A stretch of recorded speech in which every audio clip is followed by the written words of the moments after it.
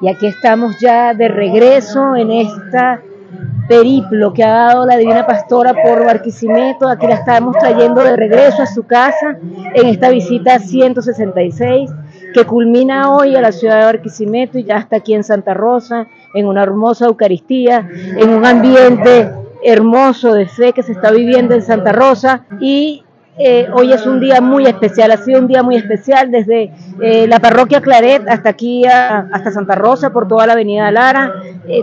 fervorosos barquisimetanos acompañaron a la Divina Pastora con la tradición, por ejemplo, Ángelo, de los bastones de gratitud, que es una hermosa tradición que está promoviendo los buscadores de tesoro y se vieron bastantes bastones este año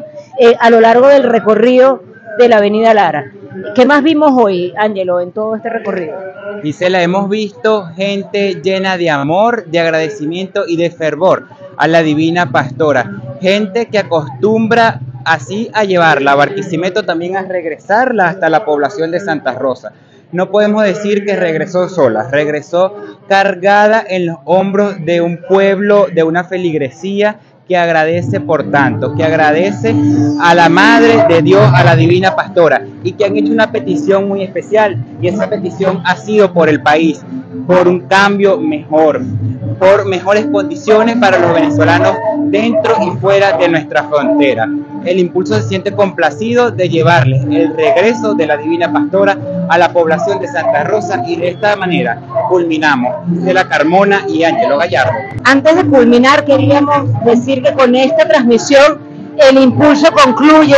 toda esta transmisión de fe que hemos hecho, primero con eh, el anuncio del vestido, luego con la bajada de la Divina Pastora, luego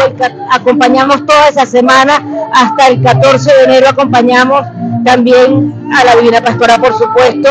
a su llegada a la catedral, luego el recorrido por algunas parroquias de Barquisimeto, y bueno, hoy concluye y con mucha emoción y con nuestro corazón lleno de fe,